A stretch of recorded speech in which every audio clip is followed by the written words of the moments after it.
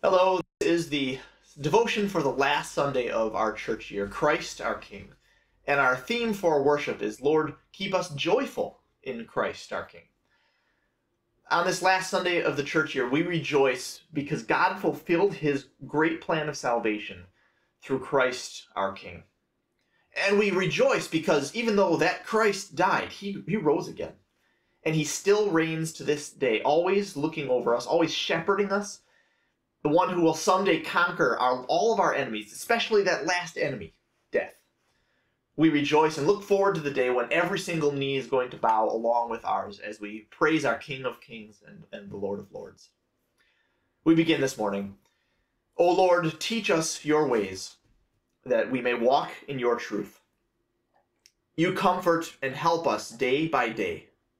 We trust in your loving care. You are the King of heaven and earth we give you praise and thanks. Alleluia. We have come into the presence of God who created us to love and serve him as his dear children. But we have disobeyed him and deserve only his wrath and punishment. Therefore, let us confess our sins to him and plead for his mercy. Merciful Father in heaven, I am altogether sinful from birth. In countless ways I have sinned against you and do not deserve to be called your child. But trusting in Jesus, my Savior, I pray, have mercy on me according to your unfailing love. Cleanse me from my sin and take away my guilt. God, our Heavenly Father, has forgiven all your sins. By the perfect life and innocent death of our Lord Jesus Christ, He has removed your guilt forever. You are his own dear child. May God give you strength to live according to his will. Amen. Our prayer of the day for today. Lord Jesus Christ, by your victory, you have broken the power of the evil one. Fill our hearts with joy and peace as we look with hope to the day when every creature in heaven and earth will acclaim you as King of kings and Lord of lords to your unending praise and glory. For you live and reign with the Father and the Holy Spirit, one God, now and forever. Amen. We turn to our scripture lessons for today. Our first lesson is from Ezekiel chapter 34. We read select verses. For this is what the Lord God says Here I am. I myself will seek the welfare of my flock and carefully search for them as a shepherd searches for his flock when his sheep that were with him have been scattered, so I will search for my flock and rescue them from all the places they were scattered on a day of clouds and thick darkness. I will bring them out from the peoples and gather them from the countries and bring them to their own soil. I will shepherd them on the mountains of Israel, in the valleys, and in all the settlements of the land. I will lead them into good pasture and their grazing land will be on the high mountains of Israel. There they will lie down in good grazing land, and they will pasture on rich pasture on the mountains of Israel. I myself will shepherd my flock. I myself will let them lie down, declares the Lord God. I will seek the lost. I will bring back the strays. I will bind up the injured. I will strengthen the weak. I will destroy the fat and the strong, and I will shepherd them with justice. Then I will raise up over them one shepherd, and he will tend them. My servant David will tend them, and he will be their shepherd. I, the Lord, will be their God, and my servant David will be the prince among them. I, the Lord, have spoken. This is the word of our God. Our second lesson for today is from 1 Corinthians chapter 15. We read verses 20 through 28. But in fact, Christ has been raised from the dead, the first fruits of those who have fallen asleep. For since death came by a man, the resurrection of the dead also is going to come by a man. For is as in Adam they all die, so also in Christ they all will be made alive but each in his own order. Christ as the first fruits, and then Christ's people at his coming. Then comes the end, when he hands over the kingdom to God the Father after he has done away with every other ruler and every other authority and power. For he must reign until he has put all his enemies under his feet. Death is the last enemy to be done away with. Certainly, he has put all things in subjection under his feet. Now, when it says that all things have been put in subjection, obviously that does not include the one who subjected all things to him. But when all things have been subjected to him, then the Son himself will also be subjected to the one who subjected all things to him, in order that God may be all in all. This is the word of our God. Our verse of the day today, Alleluia. I am the Alpha and the Omega, the first and the last, the beginning and the end. Alleluia. Our gospel for this Christ the King Sunday is from Matthew chapter 27. We read verses 27 through 31. Then the governor's soldiers took Jesus into the praetorium and gathered the whole cohort of soldiers around him. Sorry about that. Then the governor's soldiers took Jesus into the praetorium and gathered the whole cohort of soldiers around him. They stripped him and put a scarlet robe on him. They twisted together a crown of thorns and put it on his head. They put a staff in his right hand, knelt in front of him, and mocked him, saying, Hail, King of the Jews! They spit on him, took the staff, and hit him repeatedly on his head. After they had mocked him, they took off the robe and put his own clothes on him. Then they led him away to crucify him. This is the gospel of our Lord. What would it be like to have a king? For people like us in America, where we have the voting system, where we elect somebody who's given temporary power at the consent of the governed with, with these checks and balances and other other branches of government to limit the power of that one person. Having a king, it's a whole lot different.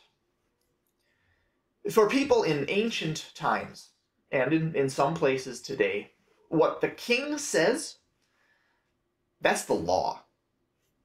There, there's no need for courts, there's no need for juries, there's no need for lawyers because what the king says, that king's decree, it settles everything for better or for worse.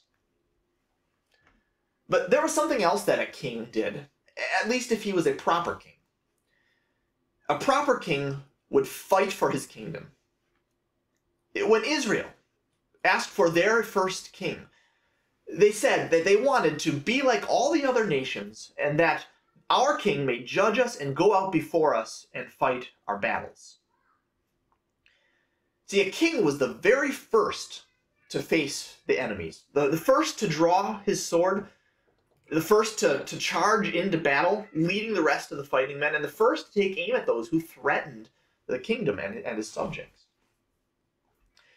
This last Sunday of the church year is often called Christ the King Sunday our scripture lessons that we just read, they, they focus our eyes of faith on Jesus' glorious rule as the King of Kings and the Lord of Lords.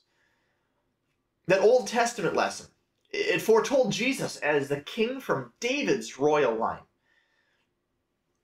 Who, who would one who would be a faithful shepherd for God's people, unlike some of the other kings that the Israelites had, King David had passed away by the time that this the Old Testament was written.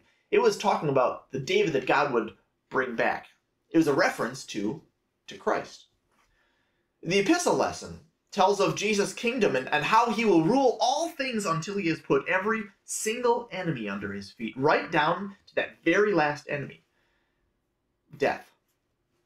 And like a good king, our king went ahead of us and fought our enemies for us in our gospel, Matthew records how this victory came about. And it came about in kind of a strange way, didn't it? There's no no battle scenes where the where the king is dressed in shining armor where, where the king stands off against the enemy and trades blows until the enemy is defeated. No, this battle scene is by all outward appearances kind of pathetic, isn't it? See, the victory that, that we needed, it required a heavy price. God's son, our king, had to die. Because without his death, there would be no forgiveness of sins, no relationship with God other than one with an angry judge and a, and a helpless sinner. There would be no freedom. There would be the fear of death and hell. There would be no hope of heaven. The eternal future of every person hinges on that cross, on that battlefield. Jesus isn't led to his execution as a powerless prisoner. He is marching majestically to the cross as a king prepared for battle. Christians, see your king on that cross as he fights the battle for your soul. And live in praise because of what he did. We can't really imagine what it was like for Jesus on that, on that terrible, terrible day. People who had no clue and had no care who he was and what he came to do for them stripped him of his dignity. They mocked him. They humiliated him. They brutally abused him, both physically and emotionally. They bowed before him in some kind of sick sarcasm and then tossed him aside like you would with trash. The gospel writer John writes in his first chapter He was in the world, and though the world was made through him, the world did not recognize him. He came to that which was which was his own, but his own did not receive him. And we ask the question, how, how could this be? Jesus is the Almighty God. Our times, everybody's times, are in his hands.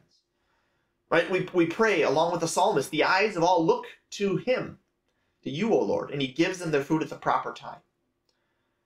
He is completely faithful. He commands our total trust. He is holy. He demands our absolute holiness. Yet we see this this this king going to battle, and he remains silent. He lets himself be blasphemed. He lets himself be ridiculed. Those who did these hideous things to Jesus had no clue who he really was, or what they were doing. If they had, they never would have crucified the Lord of glory. If people today really knew who Jesus really is and what they are going to do to him, they wouldn't dare do those things, right? They wouldn't defy him in every form of media. They wouldn't sneer at the idea of teaching his truth in every step of education. They wouldn't brush him off or make jokes about him and his word. Yet they do. Look around you and you see all kinds of mockery aimed at God and his word. People's lives are like a, like a, like a Twitter message that reads hashtag not my king. And if we're honest, we don't always see him as our king do we? we, we fail to give him the obedience that we know we should and instead insist on obeying our own cravings. Hmm? We, we fail to give him our, our time and attention each day as we should, and instead we spend our time on, on trivial and in sometimes some ways some sinful ways. And we hear the arguments and excuses that our hearts want to give. I, I, I can't be expected to be perfect all the time, right? I don't need Jesus sprinkled in everything that I do, right? As if Jesus isn't the king, as if he doesn't see the thoughts of our hearts. It's as if he's weak. Our everyday apathy toward God, it's just as damning as those who crucified the king on that hill outside of Jerusalem. And people admire the, the strong man who fights back. We're impressed with raw power and, and in your face comebacks and heroes who never fall. We love the, the special effects in movies that thrill us and keep us on the edge of our seats. We enjoy being entertained. But Jesus didn't come to entertain, He came to die. He came down to lay he came to lay his life down as a ransom for sin. No special effects, no payback to his tormentors only real, selfless, redeeming love for you. In our gospel, we heard we heard Matthew write, they led him away to crucify him. Right? His those tormentors, they had no idea that King Jesus was actually preparing for battle. His battlefield was a Roman cross, an instrument of torture. His battle was a fight for your soul. Those proud captors had no idea that they were being used by God when they nailed his son to those, to those crossbeams. They had no idea that when they grabbed Jesus, they were handing the de- they were handling the death of death itself. They put Jesus exactly where he needed to be, fastened to a cross. When Jesus was crucified, God for, for six hours burned in the agony of eternal punishment, fighting the battle for the souls of every man, woman, and child in history. Then, after he had suffered the full payment for sin in triumph, he cried, It is finished. The gates of sin's prison were opened for you and for me. He obliterated the power of the devil, opened heaven's door to all who would believe in him. Three days later, Jesus destroyed that power of death when he burst from the grave and after 40 days returned to his glorious throne in heaven, where, as Paul says, where God had appointed him to be head over everything for the church, which again means for you. Your king took the worst possible thing that sinful man could ever have done to him and he turned it into the best thing that he could ever do for sinful man. When Jesus died, those who lived in and around Jerusalem felt the aftershock of his conquest in the tremors of an earthquake, but many others heard the message of Jesus' suffering, death, and resurrection, and it would be the power. And the Greek word Paul uses the same root we get the word dynamite from the power of God for the salvation of everyone who believes. That, that beaten, bloody, humiliated, dead man was the last sight that a lot of the world had of Jesus. Right? He's yesterday's news, a footnote in history. He has no relevance in the day-to-day routine of life. But one day, every single eye will see him returned in blinding glory and in colossal power. Everyone will watch him raise dead bodies back to life, put them back together, bodies that all of human experience and could never live again. Whether it's things like mass graves where murderers hid and their slaughtered multitudes, all, all the ashes that have been scattered over the oceans, all the babies that have been tossed into dumpsters, all the dead, great and small, will rise and stand before him. They will hear the sound of creation breaking apart and vanishing before their eyes. There will be no more arguing, no more debate, no more mockery. And those who would not have King Jesus will finally be forced to admit the truth. As Paul writes to the Philippians in chapter 2, therefore God exalted him to the highest place and gave him the name that is above, that is above every name, that at the name of Jesus every knee should bow in heaven and on earth and under the earth, and every tongue confess that Jesus Christ is Lord to the glory of God the Father. This king that went to battle for you, to fight the battle that you could not possibly hope to fight, let alone win. This is his love for you. This king who showed his power over Satan, over death, the king who has the power to do anything that he wants to sinners like you and me. He used that awesome, wonderful power to fight the battle for your soul. What a stunning conquest he's achieved for you. That's why God the Father raised him from the dead. Nothing brings King Jesus more joy than to have every sinner repent and receive the spoils of his conquest, the forgiveness of sins and life. Countless angels and all the souls in heaven praise Jesus for shedding his blood to rescue you and me from the power of sin and death. John was given the wonderful vision that he recorded in the book of Revelation of the multitude of people around the throne praising Jesus for exactly this, exactly what he had, what he did. John records in Revelation chapter 5, "You are worthy because you were slain. Worthy is the lamb who was slain to receive power and wealth and wisdom and honor and glory and praise." See, it was not with perishable things that you were redeemed the Apostle Peter wrote, but with the precious blood of Christ, a lamb without defect. You were brought, you were bought with a price, Paul wrote in 1 Corinthians.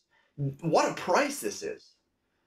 See, through faith in, in this royal, precious blood of God's own Son, you have God's promise that you will be with him in heaven, and you will join everyone else who has washed their robes and made them white in the blood of the Lamb.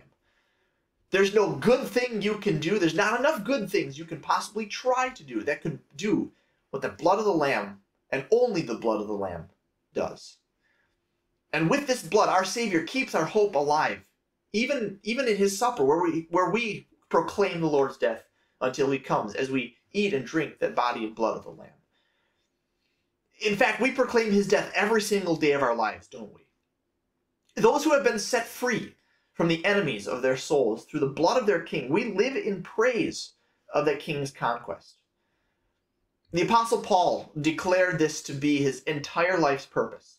He wrote to the Galatians, The life I now live in the body, I live by faith in the Son of God who loved me and gave his life for me.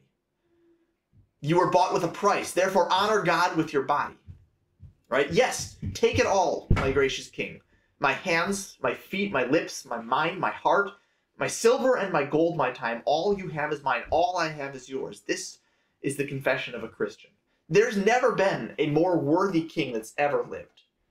There's never been a greater conquest that's been won. A greater need has never been filled. A greater reason for praise has never existed. Jesus is your king, he is my king, and in his hands we are safe. Listen again to what Ezekiel wrote in his in his book. I myself will tend my sheep and have them lie down, declares the sovereign Lord. I will search for the lost and bring back the strays. I will bind up the injured and strengthen the weak.